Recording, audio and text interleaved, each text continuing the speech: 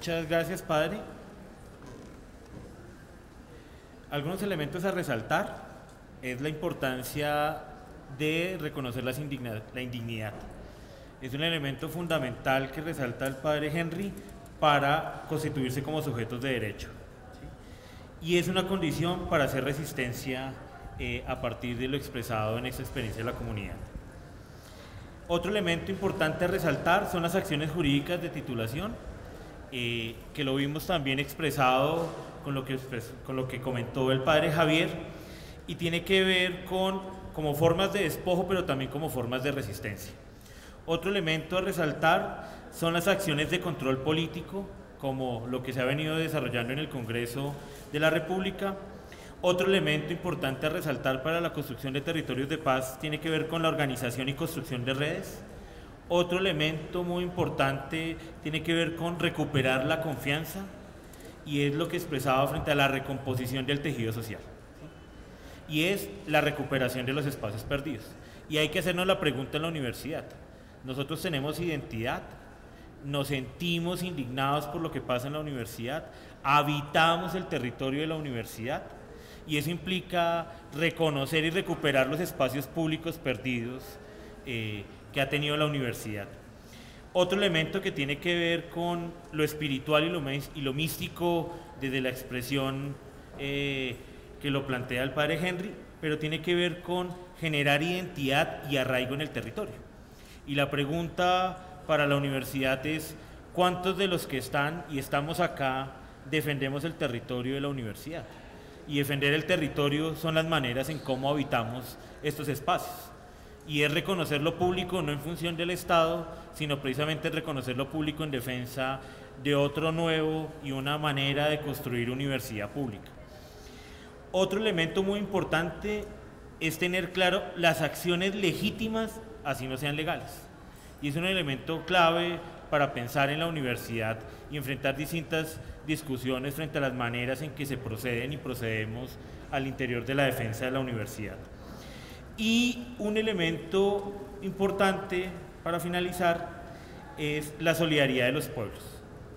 Y eso pasa por la solidaridad entre nosotros. Hasta dónde nosotros somos solidarios al interior de esos espacios universitarios.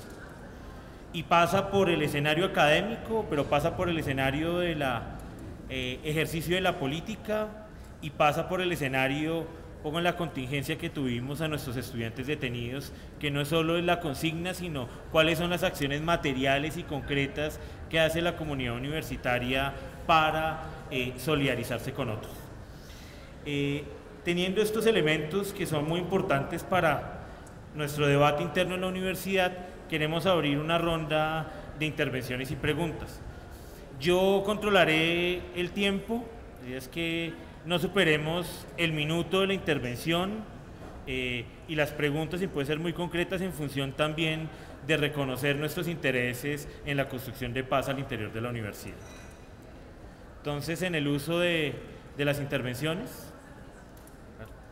Si quieren, estamos haciendo un registro para que quede en el audio, pueden pasar si quieren a, expresar los puntos de vista. ¿Sigues? Eh, y después la compañera comunitaria, la compañera. Voy en rondas de tres. De tres en tres es más fácil. Y cuatro no se total. Bueno, eh, en la intervención que hizo el reverendo, pues eh, la intervención que hizo el reverendo, em, creo que personalmente encontré una contradicción, ya que eh, a mediados del principio de la intervención dijo que eh, como tal eh, estos procesos o estos, proyectos que iban que querían llevar a cabo de lo de territorio de territorios o zonas de paz no tenían como tal un fin de, por decirlo así, entre comillas, evangelizar o, sí, pues llevar la religión.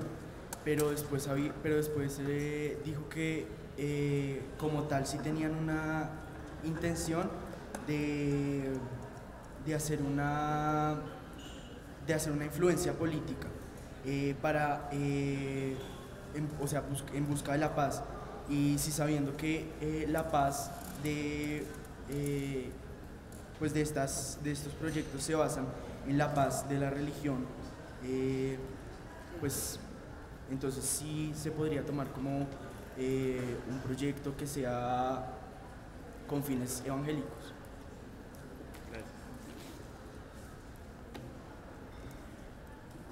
Los, en el uso de la palabra sí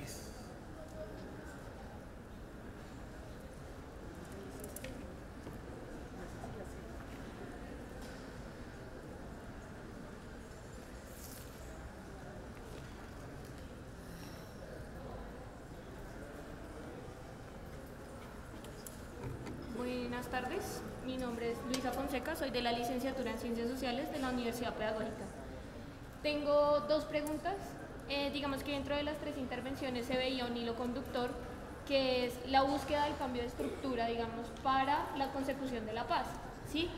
Eh, digamos que dentro de una discusión que teníamos nosotros es, en efecto, es importante el cambio de estructura, pero cómo hacer que ese objetivo no pase por encima de lo que las comunidades buscan, ¿sí? Porque a veces, digamos, el movimiento social se centra tanto en ese cambio de estructura que deja de un lado e incluso pasa por encima de la comunidad. Esa sería mi primera pregunta. Y mi segunda pregunta. Al volver, digamos, como el centro de atención del movimiento social, eh, la comunidad y sus reivindicaciones, ¿cómo hacer para que dicha comunidad, en caso de que ya, ya sea, sea víctima del conflicto, cómo hacer para no revictimizarla? ¿sí? Eh, digamos que dentro de las iniciativas que se han dado en el Estado o en diferentes eh, organizaciones, eh, por el contrario de, reivindicar a la víctima o a su proceso político, se le ve más como una estadística, como el pobrecito, como, como lo ayudamos, ¿sí? pero se deja de un lado que es una persona y un sujeto político, que en efecto ustedes lo decían, un, un sujeto de derecho. entonces mi segunda pregunta sería esa. Gracias. No. Eh, para que en el uso de la palabra, eh, Geraldine, el profesor, sigues tú, y el profesor Camilo. ¿Este es el pueblo que camina o que corre? Buenas tardes para todos, mi nombre es Geraldine y bueno, yo hago parte de la licenciatura en educación comunitaria y pues lo que primero tengo para preguntarles es que, bueno, hoy se firma, digamos, a nivel nacional y pues de cara a otras naciones un acuerdo de justicia eh, pues para el país, ¿cierto? Eh, primero, preguntar un poco porque he escuchado mucho acerca del concepto, pero no sé en qué consiste. Eh, eso de justicia restaurativa, ¿qué es? Y digamos, ¿qué elementos eso tiene? Y pues también de cara a la justicia transicional, si es lo mismo, eso cómo, eso cómo se relaciona, lo primero. Y segundo, eh, frente a ese, mismo acuerdo que se está firmando, aún desconociendo pues mucho el contenido de ese acuerdo, eh, ¿qué elementos tendría que tener para que eso se haga efectivo pues en los territorios y más en las comunidades? Y porque nosotros ya hemos, como, o sea, como proceso histórico en Colombia, ya hemos tenido otros procesos de paz, ¿sí? Con otras organizaciones, pero no han, eh, no han sido tan efectivos, ¿cierto? Entonces, ¿qué elementos necesitaría ese acuerdo de justicia para hacerse efectivo pues, en las comunidades y en los territorios? Gracias. Profesor. Bueno,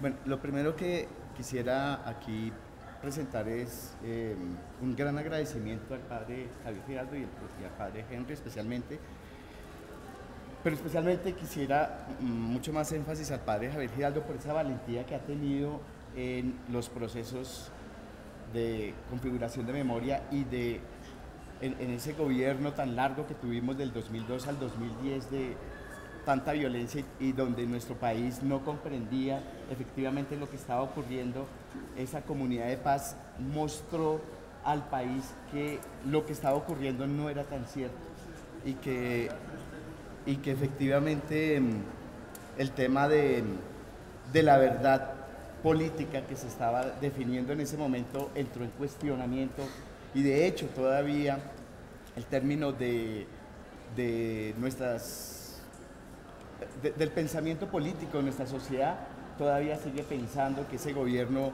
eh, fue lo mejor, que no tuvo que ver nada con la violencia y que efectivamente puede seguir ganando en las elecciones y puede seguir gobernando en este país. Entonces, primero ese gran reconocimiento porque considero que el padre Javier Giraldo fue uno de los pocos que se le enfrentó abiertamente a ese gobierno nefasto. Y en ese orden viene la, pregunta para los dos, especialmente, pues, más que una pregunta es como, como un razonamiento frente a, al tema de la verdad histórica y la verdad judicial. Es, decir, que efectivamente lo que ustedes han hecho son más procesos de lucha en términos de lo judicial y en términos de lograr una verdad eh, que pasa por lo, por lo, jurídico y que pasa por restitución de tierras en este caso y restitución de, de verdades. Pero, y efectivamente lo que usted acaba de hacer aquí es un ejercicio de memoria.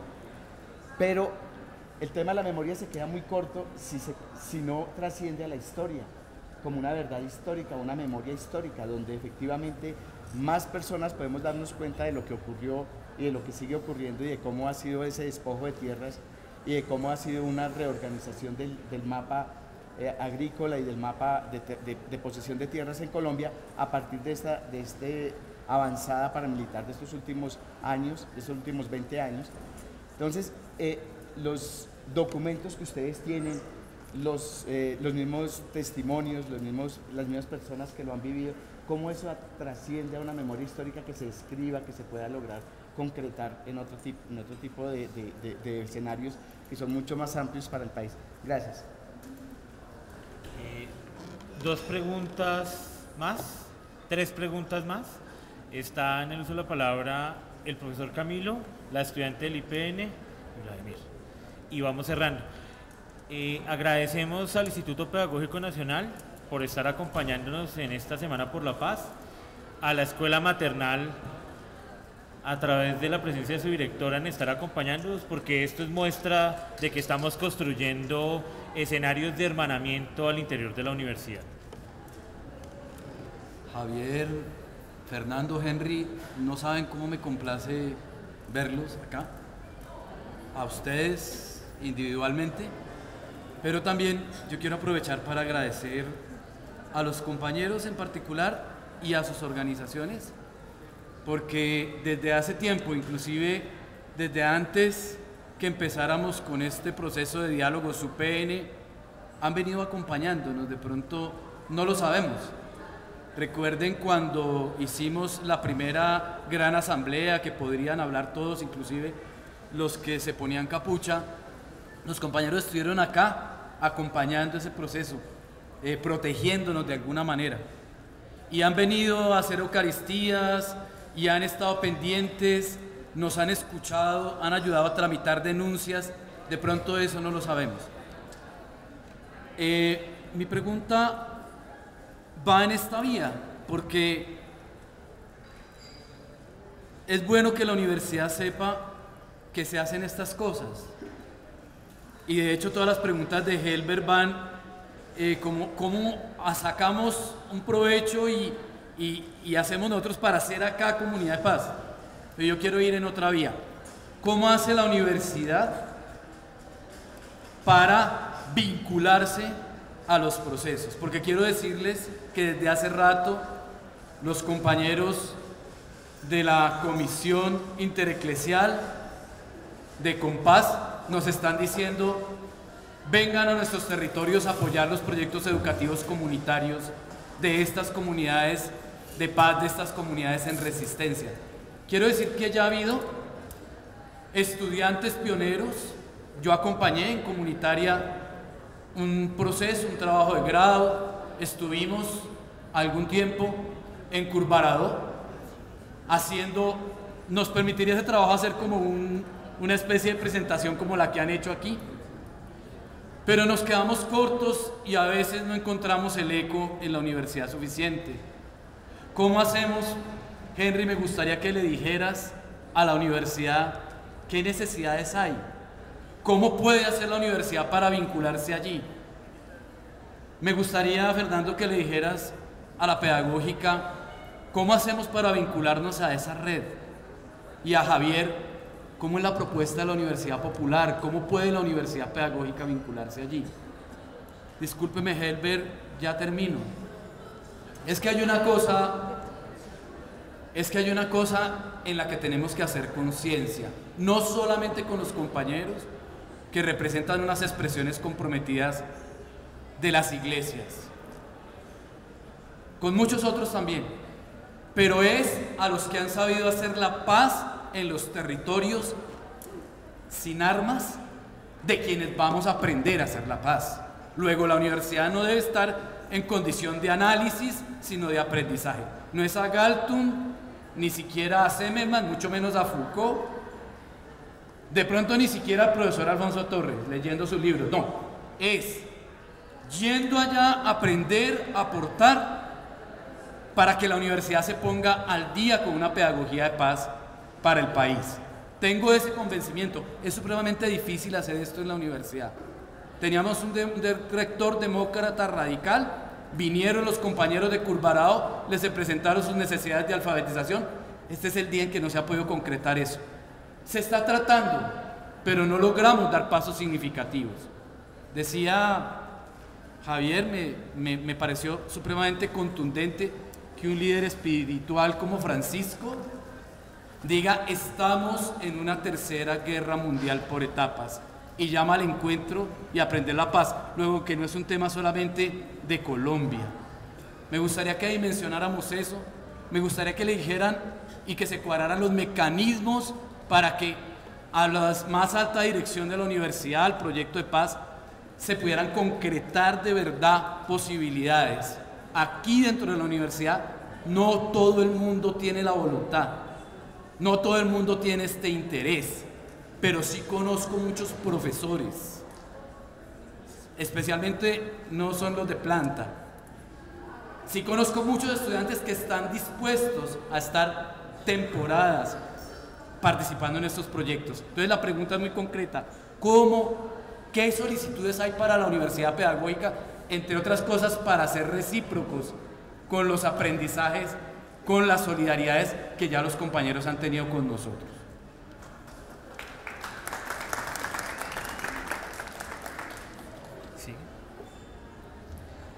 Para los que nos están acompañando y hasta ahora están llegando, estamos finalizando eh, parte del ciclo de las jornadas de la Semana por la Paz, trabajando desde la universidad para construir territorios de paz con justicia social.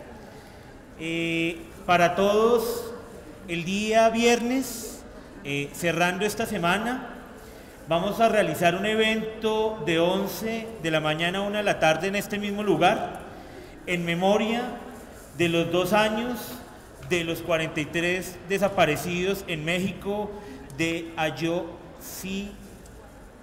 ¿Cómo se dice? Ah, muy bien. Un año, perdón, un año.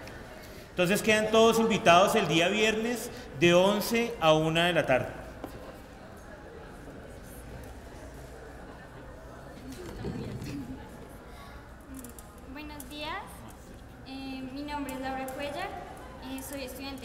Pedagógico Nacional, vine acompañada por, lo que, por los que están adelante aquí. Y pues bueno, eh, yo quería darles las gracias y reconocerles pues las acciones de paz que ustedes han realizado en el país. Sin embargo, considero que esta charla debería estar más concentrada y enfocada en qué acciones de paz puede realizar la universidad pues para generar la paz. Eh, por ejemplo, lo que se está realizando en el pedagógico es una reconstrucción de memoria histórica a través de la literatura y pues quisiera saber que también la universidad cómo podría unirse a nosotros para realizar estas acciones de paz juntos. Y como segunda pregunta es, nosotros como estudiantes del IPN, ¿cómo podemos involucrarnos en las decisiones que se toman en la universidad para así generar una comunidad de hermandad y entrar en las comunidades de paz? Y ya, gracias. Cerramos con esta última ronda de preguntas, sé que quedaron más, pero esto vamos a seguirlo trabajando y discutiendo. Y a partir del cierre de la intervención pregunta, Eh, damos entonces el uso de la palabra a nuestros invitados. Buenas tardes. Buenas tardes a todos. Creo que se escucha mejor sin el micrófono, ¿sí no? Eh, dos cosas y mi interpelación directamente va para Henry. ¿Alguna vez, alguna vez eh, compartimos un espacio en donde yo me quedé grabado con estas palabras, Henry? Es verdad que hay que ser líderes, hay que ser fuertes, pujantes, pero no es un tiempo de ser mártires. Y entonces me llama la atención con esa palabra fuerte a ver si podemos desbloquear quizás el significado de dar hasta la vida, morir por. Hasta qué punto, qué implicaciones puede tener eso. Sobre todo en un país con las características que hoy tiene, eh, que es lo que significaría morir y perder en el intento, pero además ser olvidado por todas las instituciones. Primero. La segunda, una cosa que también me parece interesante para pensar, sobre todo para construir territorios de paz, como se ha denominado la charla sobre la que ha girado, y es aquello de la identidad con el territorio. Estoy pensando en contextos de posacuerdo, y acá hablo de posacuerdo porque no, no, no creo que sea posconflicto, creo que el conflicto se va a recrudecer. Y en ese sentido, los ejemplos que los tres han puesto tienen unas dinámicas muy interesantes porque hay una historia, digamos, con el territorio. Pero cuando los territorios son fluidos, cuando no se quiere volver al territorio por X o Y razones, pero cuando tenemos para ponerlo en el, en, el, terreno de la universidad, aunque a ustedes no les competiría pensar la universidad y cómo pensarlo acá, creo yo, y la pregunta es cómo configurar o cómo construir identidad allí donde no hay territorio. Y lo tercero que me parece también problemático, Henry, y para todos, ¿no? Es, entiendo la legitimidad y entiendo la legalidad y entiendo la disputa que puede haber entre legitimidad y legalidad. Sin embargo, las acciones legítimas no nos podrían volver o convertir de víctimas a victimarios y estar en una posición más tensionante con ello no quiero hablar de resignación, para nada. Quiero pensar las implicaciones que ello tiene para, para un territorio de paz. Eh, damos entonces el uso de la palabra a... Entonces, inicia el padre Henry. Otra cuña, eh, a las 2 de la tarde iniciamos los actos de presentación de las campañas de los representantes de los estudiantes ante el Consejo Superior. Entonces todas y todos están cordialmente invitados a este mismo espacio. Y a las 3 de la tarde la campaña eh, de los candidatos al representantes del Consejo Académico de posgrado. Entonces cerramos con las intervenciones de los, de los invitados. Bien, voy a empezar diciendo una, una cosa a partir de lo que decía Vladimir. No hay territorio, la noción de territorio no es una, no una noción solamente física, hace parte lo físico. Pero creo que es el mayor desafío, porque creo que uno de los lugares donde se concentran el mayor número de desplazados son las universidades de Bogotá. Porque el instrumento de mayor desplazamiento de los campos hacia las ciudades y los expulsores es el sistema educativo. En una vereda solo hasta, hay hasta quinto de primaria. Los que poseen alguna posibilidad van al pueblo a hacer once. Y después salen con el sueño de seguir estudiando a las grandes ciudades. Porque las universidades están en los grandes centros. Entonces creo que eso es un elemento muy importante a la hora de pensarse una experiencia de territorio en una universidad. O sea, pensarse que también hay una lógica de exclusión en la construcción de ese modelo educativo. y ahora no quiero hacer aquí la, la- propaganda, pero fíjense que Correa está descentralizando las universidades en Ecuador. Las está mandando a pueblos pequeños. Digamos que eso tiene varios elementos. Entonces creo que sí es necesario pensarse la lógica del territorio más allá de lo físico, pero creo que sí hay una, una que el gran problema de pensarse un territorio de paz en la universidad es que no hay identidad en el territorio y por eso muchos les da lo mismo porque vienen, estudian cinco años y se van. Y entonces no hay, no hay problema. Cuando me refiero al dar la vida, yo creo que también las lógicas eh, de este modelo capitalista nos van enseñando a que todo es desechable. Lo utilizo y ¡fum! incluso los principios. Y entonces voy renunciando. Y entonces uno encuentra a grandes próceres de la izquierda colombiana hoy en el otro lado. Entonces, hoy un José Abdulio totalmente al otro lado, porque las opciones son variables. Entonces no hay principio de, entregar toda la vida y no significa que estoy hablando de la muerte. Te digo, es dar la vida y todo, todo el tiempo. O sea, construirse y hacerse por un proyecto que uno es capaz de no renunciar a sus principios. O sea, de darlo absolutamente todo. O sea, no es una lógica martirial, porque en la concepción cristiana el martirio no es algo que se busca. Es al final algo que llega accidentalmente. Y Vladimir, ojo con caer. Nosotros estamos formateados en un sistema educativo que nos hace decir cosas que son peligrosas, como la que acabas de decir.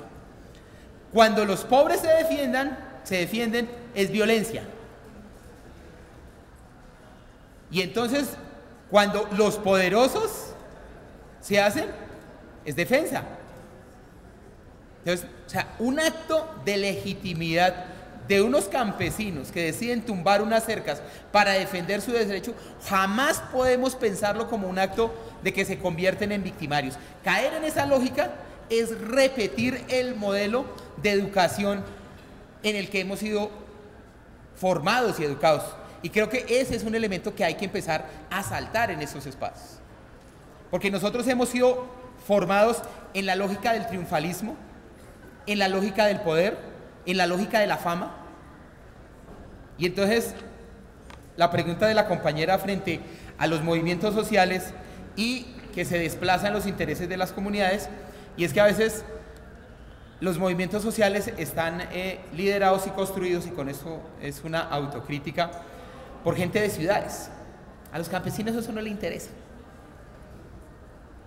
Pero lo que sí tenemos que tener claros es que la función del padre Javier, la función del, reverendo San Miguel y la mía en estos procesos ha sido de acompañar, de caminar con las comunidades.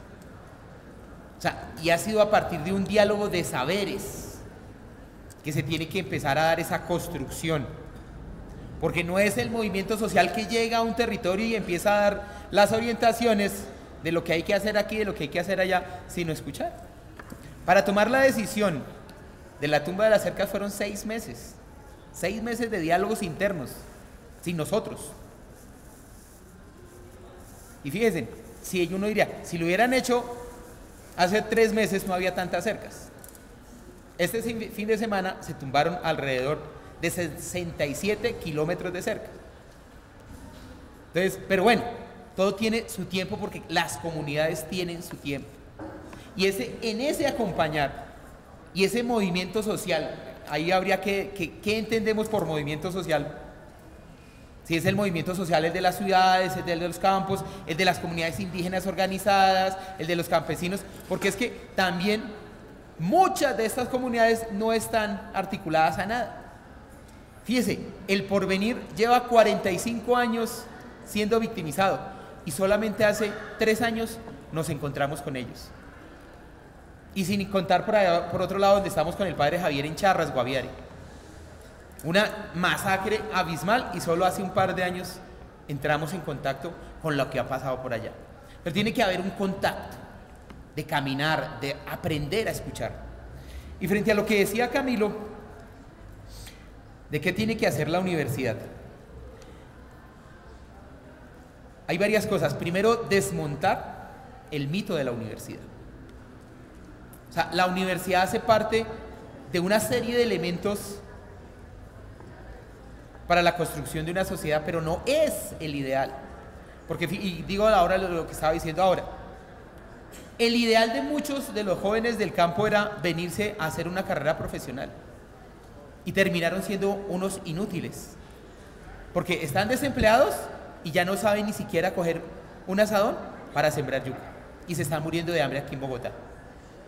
Entonces, ese principio rector de la universidad como el ideal de vida, yo creo que es un elemento que hay que cuestionar, no para erradicar, aquí tampoco hay que ser eh, absolutistas, pero sí es necesario repensarnos ese ideal y la universidad tiene que presentarse en ese sentido, no como un modelo absoluto de vida. Luego, cuando digo desmitificar la universidad es que la universidad tiene que dejar de ser la que da orientaciones y directrices y tiene que aprender a escuchar. Y en eso es lo que decía Camilo. Hay que ir allá, a donde las comunidades de la comunitaria y de la licenciatura de ciencias sociales han estado con nosotros estudiantes de la pedagógica en Casanare, en Morcote, ahora en el Porvenir, y ellos lo que hacen es escuche, escuche. Y eso va generando transformaciones en la persona, pero va generando transformaciones en la manera de pensarse y en el ejercicio de ser docentes aquí en la ciudad. Efectivamente no vamos a generar la gran revolución, pero con esos compañeros de esta universidad que han, decidido a, gastarse seis meses, una semana, dos semanas, tres semanas, acompañando a estas comunidades. Ojo, pero desde el principio desde las acompañar. Yo creo que ha sido ese el jalón de orejas más grande que hemos tenido que hacerle a ellos. Porque llegan todos entusiasmados, vamos a hacer el proyecto, hay que hacer esto, hay que hacer. No, no, no, no. Y entonces, pero está como, pero como los profesores aquí les exigen el proyecto, la S, entonces ellos llegan afanados con el problema de, de los tiempos de la metodología universitaria, pero los tiempos de la metodología de las comunidades son otros. Entonces, ese es un problema, habría que revisarlo. Porque ese es, es, un, Y hay espacios. ¿Cómo hacemos hoy y cómo construimos procesos educativos distintos? ¿Cómo hacemos para que la gente no tenga que salir del campo para formarse profesionalmente? Pero digo que tiene que cambiar el paradigma del modelo educativo. Y en ese sentido, pues el tema de la memoria, eh, pues tiene que ver con que la universidad es transmisora. Eso sí es la universidad. Es transmisora de conocimientos. Y a mí me, hace, hace unos días, no recuerdo, ah, no, sí, el lunes en una conferencia de ecoteología en la San Buenaventura escuchaba a un señor diciendo los filósofos de Alemania, ta, ta, ta. Y cuando se refería a un colombiano, decía los pensadores. Y eso es lo que hace la universidad. Entonces, nuestros colombianos son pensadores. Y los otros son los filósofos. Entonces, entonces eso, o sea, la universidad como transmisora de esa memoria tiene un elemento fundamental porque en la universidad es donde se escribe, donde se relata, donde se transmite a esas nuevas generaciones. Sobre el tema de justicia, voy a omitir porque hay un experto más grande que yo. Muchas gracias.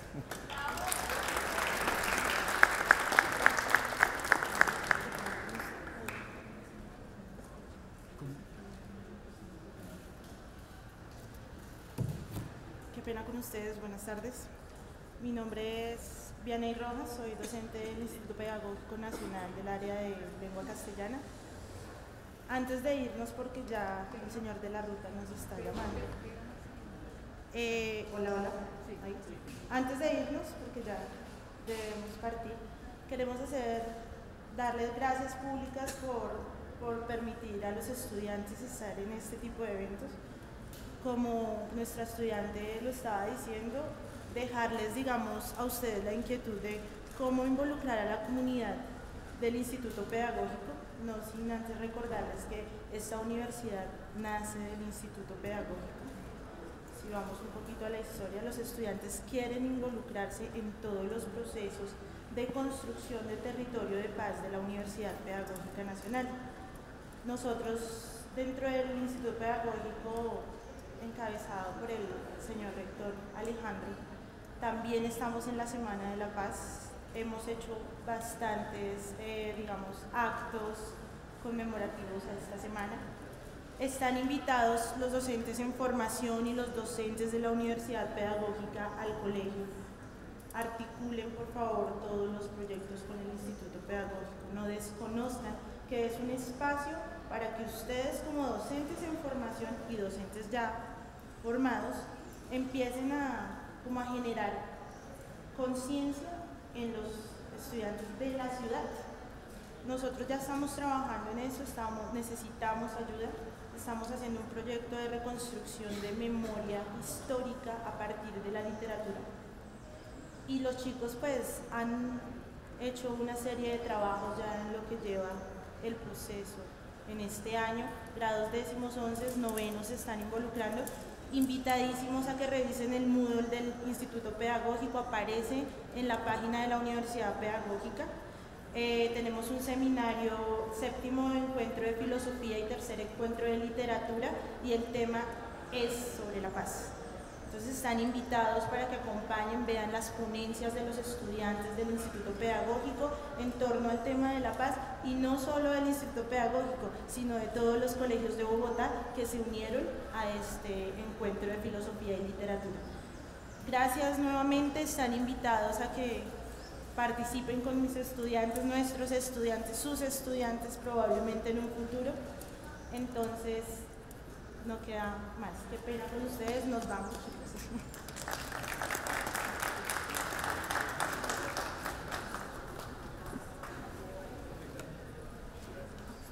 Bueno, yo voy a referirme a pocas ideas, globalizando un poco las inquietudes de las preguntas. Una primera es que en la, el concepto mismo de la paz, yo creo que en la tradición cristiana, tanto dentro de la vertiente católica como dentro de la vertiente protestante, se ha enfatizado mucho en las últimas décadas el, un, mensaje bíblico sobre la paz, y es que la paz es inseparable de la justicia, y que más bien la paz es el fruto de la justicia. Eh, en el Vaticano II este concepto fue muy enfatizado, el Concilio Vaticano II, digamos en la tradición católica, y también en una reunión del Consejo Mundial de Iglesias que hubo en la misma época de los 60 en Uppsala, también se enfatizó mucho este concepto de la paz como fruto de la justicia. Y en ese sentido, yo creo que, por ejemplo, en la comunidad de paz de San José de Apartadón, la gente se ha preguntado mucho qué es la paz, porque se le ha tratado de vender durante mucho tiempo un concepto de paz que es como de futuro, es como una hora cero que nadie sabe cuándo va a llegar, pero que es un momento en que va a haber un cambio fundamental de todo, pero nunca sabemos cuándo vendrá ese cambio y en ese momento es cuando se va a obtener la paz.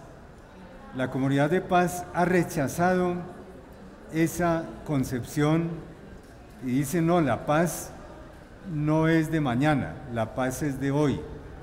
Y como lo decía un acompañante que estuvo más de 15 años con la comunidad de paz, Eduard Lanchero, que murió hace tres años de cáncer, pero después de que 25 veces intentaron asesinarlo los organismos del Estado y los paramilitares. Él tenía una, una idea muy recurrente que decía la paz no tiene futuro, la paz solamente tiene presente. Y si la paz no se construye hoy, olvidémonos que se va a construir mañana.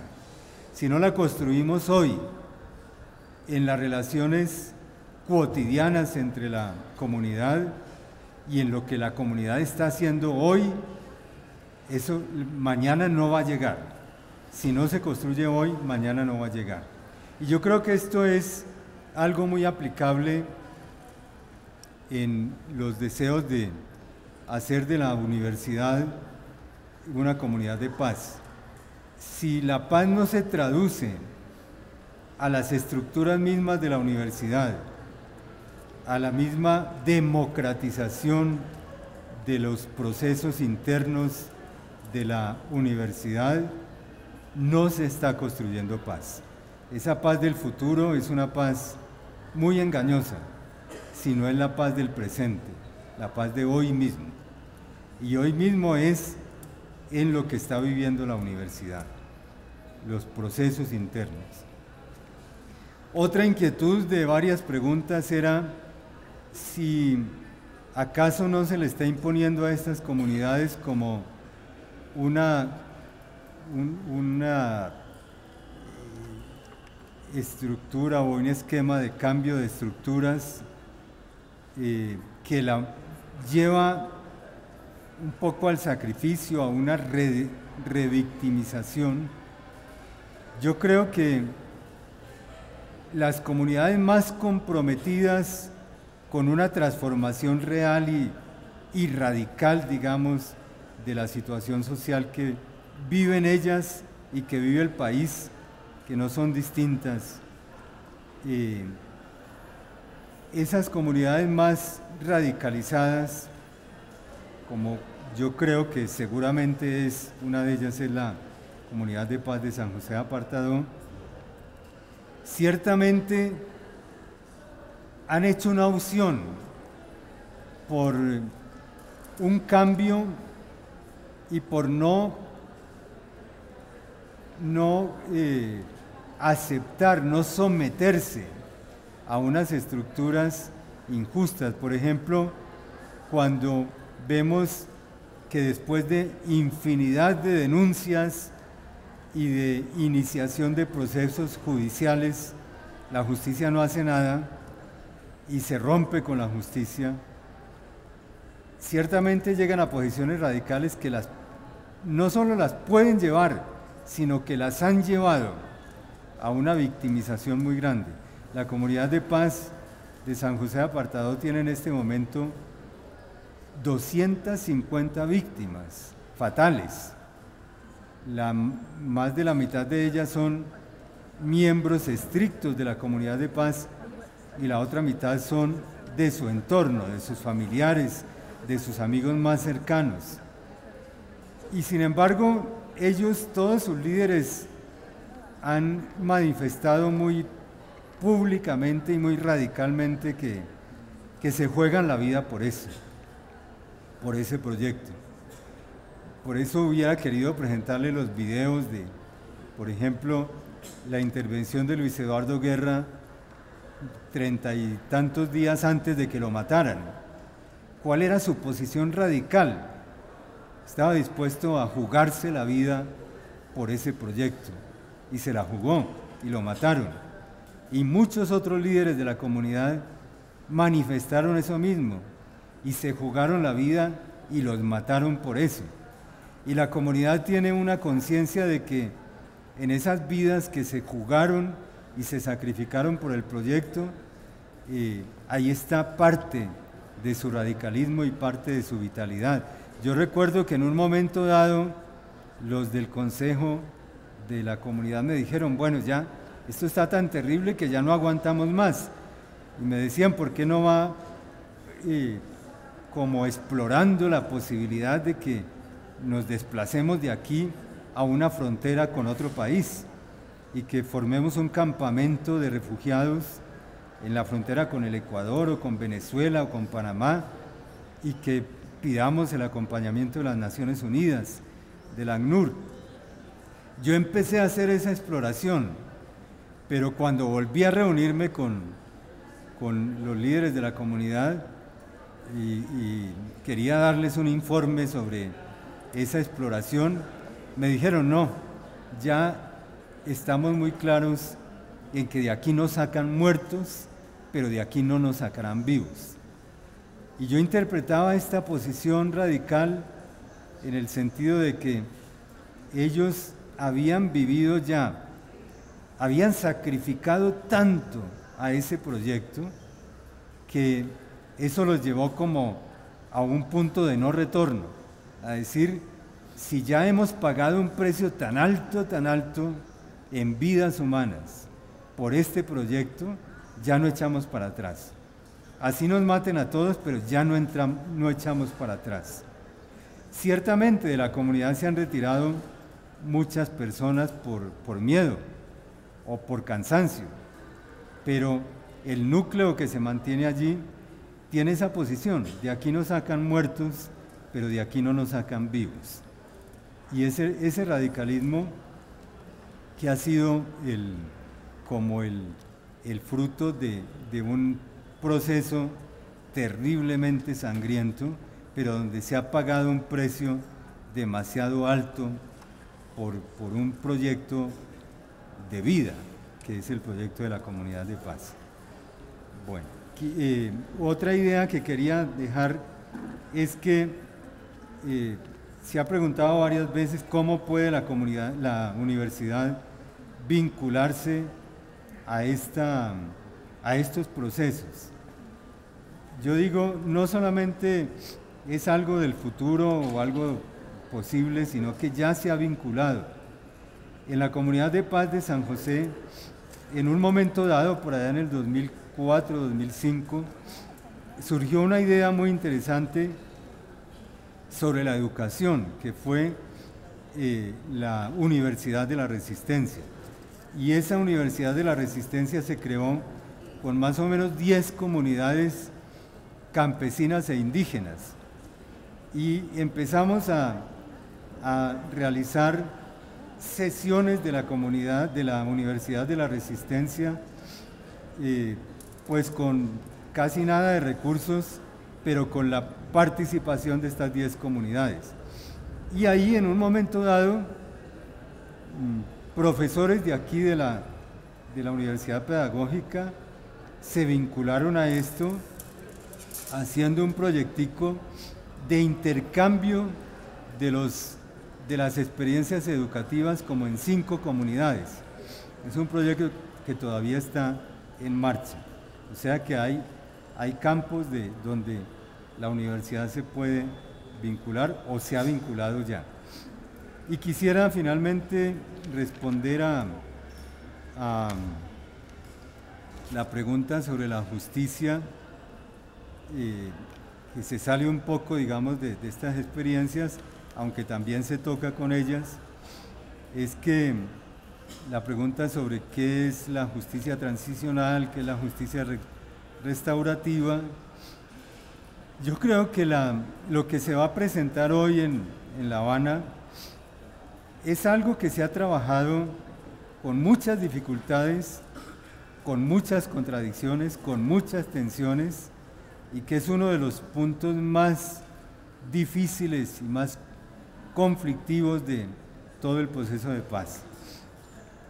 Sin embargo, se ha logrado llegar no al ideal, pero sí a un punto de, convergencia que más o menos ha satisfecho a, a las dos partes de las conversaciones y que yo creo que si realmente esto se pone en marcha, este modelo de justicia que es, se va a llamar como una jurisdicción especial para la paz, donde caben muchas posiciones, por ejemplo, cabe la experiencia de Sudáfrica, en que se trató de intercambiar o, pagar más o menos la verdad con la amnistía eh, y también otros, otras experiencias de otros países, pero donde se da un espacio para la confesión, para confesar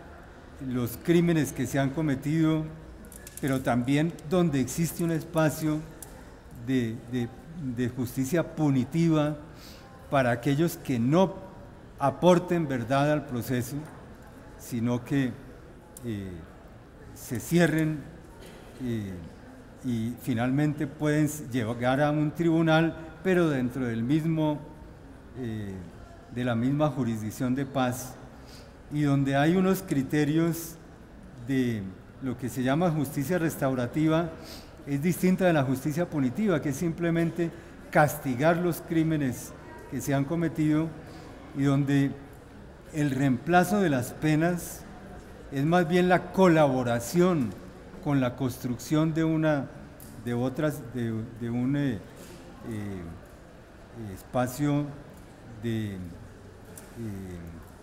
reconstrucción de lo que se ha destruido con todos estos crímenes. Ahí se han combinado muchas ideas, muchos aportes de otros países y yo creo que el diseño final no es malo. sí es limitado, pero no es del todo malo. Pero la gran duda está en la capacidad que tiene este gobierno y sobre todo esta, este Estado con este tipo de Congreso, con este tipo de aparato judicial, que es lo más corrupto que tenemos, la capacidad que se tiene para llevar a la práctica este diseño que, se hizo en La Habana. Ah, la gran duda está en esa capacidad de aplicación, de ejecución de este modelo. Eh, en ese modelo se ha querido también eh, poner la construcción de la paz como paz territorial, con la conciencia de que si no se llega a una especie de, reconciliación, de, de reparación de lo que se ha hecho en las regiones, y hay regiones muchísimo más victimizadas que otras, pues realmente no se construye la paz. Y ese es el, el periodo y, el, el, desafío más grande y más difícil que habría después de que se firmen los acuerdos. Eh, Y bueno, mm, yo, yo creo que ya las otras preguntas las respondió Henry, entonces yo termino ahí. Gracias.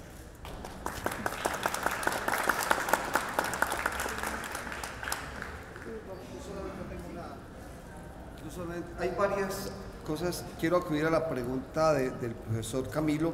¿Cómo hace la universidad para acompañar los procesos? Eh, hay muchas, pero creo que hay una que nos pueden colaborar mucho. Nosotros sufrimos mucho en región haciendo los acompañamientos que no, que no hay quien escriba la memoria. Qué bueno que la universidad se pensara en un equipo de estudiantes, de profesionales que nos puedan acompañar y vayan haciendo el conversatorio con los campesinos, con las campesinas, con lo que vamos haciendo. Porque nosotros lo que sabemos es acompañar, hacer liturgias, eh, dialogar con la gente, servir procesos de mediación pero a veces no, no nos da el tiempo, así lo sepamos escribir, no nos da el tiempo. Si pudiese existir desde la universidad un equipo o equipos que puedan viajar con nosotros a región, sería sensacional. Muchas gracias. ¿Cómo? Bueno, entonces ya, ya divulgado, ya escrito, ya miramos una estrategia de cómo lo vamos a conocer entre las comunidades pasadas de la fe y la universidad. Muchas gracias. Muchas gracias por la participación de todos.